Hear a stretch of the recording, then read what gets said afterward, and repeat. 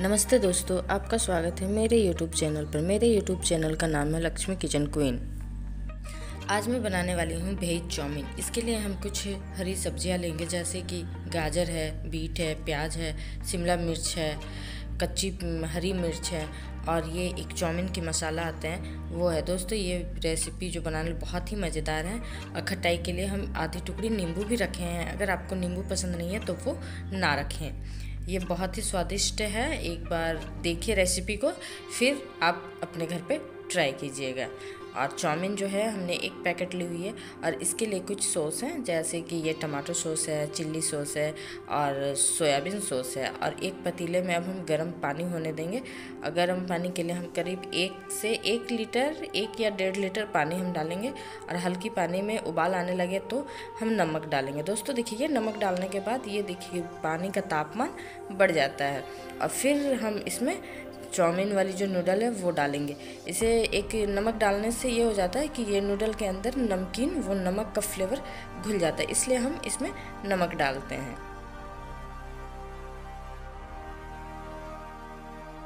और ये देखिए, उबाल आने तक हमें पकाना है और इसे फ्लेम की जो है, गैस की फ्लेम, इसे कम नहीं रखना इसे हमें ज़्यादा तो ताव को बढ़ा के ही रखना ताकि ये तुरंत ये पक जाए। और ये पूरा नहीं, ये हल्के हाथ से थोड़ा दबने में टाइट लगे, तभी हमें इसे एक कोई बर्तन में छान लेना है।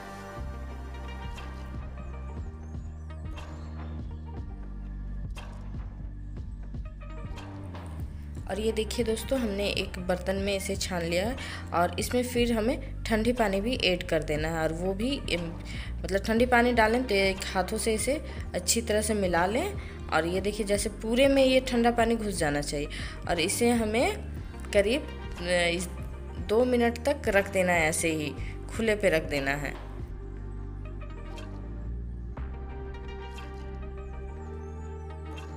अब हम चाउमीन की मसाला तैयार करेंगे। इसके लिए हम गैस पे कढ़ाई गर्म होने देंगे और दो चम्मच सरसों की तेल डालेंगे और तेल को गर्म होने देंगे। क्योंकि सरसों का जो तेल होता है वो कच्चा होता है। कच्चे तेल पे अगर कुछ इसमें हम जो भी सामग्री है वो अगर मिला दें तो ये वो कच्चा तेल का स्मेल आ जाएगा। तेल गर्म होने के बाद हम जो प्याज काट के रखे थे, वो प्याज हरी मिर्च डाल देंगे। अगर आपको तीखा पसंद ना हो तो आप हरी मिर्च नहीं डालें। वो चिल्ली सॉस पे ही वो तीखा का काम कर जाएगा। लेकिन अगर ज़्यादा तीखा चाहिए तो ही हम आ, ये जो हरी मिर्च है वो डालेंगे। और जो गाज गाजर जो हमने कद्दू कस के रखे थे गाजर को आप कोई भी चक्कू वगैरह से काटिएगा नहीं इसे कद्दू कस करके रखिएगा गाजर और बीट को तो ही इसका स्वाद इस पर मिल पाएगा। नहीं तो अगर आप कटिंग कर दोगे तो ये पूरी तरह से बनेगा नहीं। इसे हम करीब कुछ देर तक पकाएँगे और ये देखिए, हमारा पक के जो है, मसाला जो है, इसकी जो सब्ज़ियाँ जो थी, वो तैयार हो गई है। और इसमें हमें कुछ कुछ भी और सामग्री मिलानी नहीं है, इसे बस ऐसे ही हल्का सा नमक दे के पकाना है। और ये ध्यान रखें, इसमें नमक जो है, हमें कम डालना है, क्योंकि हम जब नूडल्स फ्राई ये बॉयल कर रहे थे, तब हम उसमें डाले हुए थे ये नमक। तो ज़्यादा नमक डालेंगे तो ये फिर स्वाद ही बिगड़ जाएगा और थोड़ी सी हम मिक्स मसाला लिए हैं, डालें इसमें। मिक्स मसाला में वही गोल की जीरा, धनिया, मिर्च, गरम मसाला, वो सारी है और थोड़ी सी हम इसमें चिकन मसाला भी ऐड कर देंगे। ये कोई ज़रूरी नहीं है। चिकन मसाला वो आप अपने स्वाद के अनुसार डालें। अगर आपको पसंद नहीं है तो इसे आप हटा भी सकते हैं।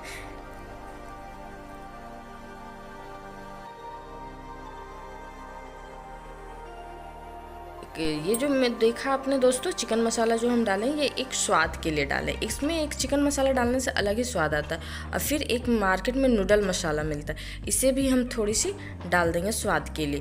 और ये ज़रूरी है, ये नूडल मसाला जो है, ये आप ज़रूर डालें, नहीं तो फिर ये चाउमीन जो बनेगा, उसमें कुछ स्वाद में खाओगे तो कुछ कहीं ना कहीं कमी आपको लगेगा। और ये देखिए, हमारा मसाला जो है, पूरी तरह से बन के रेडी हो गया अब हम खट्टाई के लिए एक टुकड़ी नींबू डालेंगे। ये याद रखें आप एक ही टुकड़ा डालना है और इसके जो बीजा जो है, वो निकाल लें। नहीं तो फिर कभी आप खाओगे तो बीच में, अगर मुँह में बीजा गया तो फिर सारा स्वाद बेकार।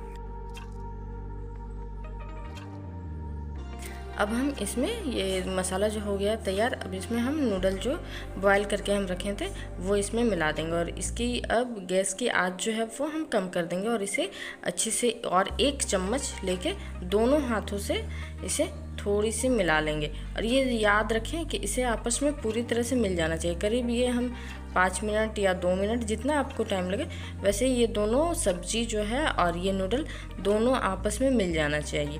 और इसे हम लगातार ही फ्राई करते रहना है नरम आँच में।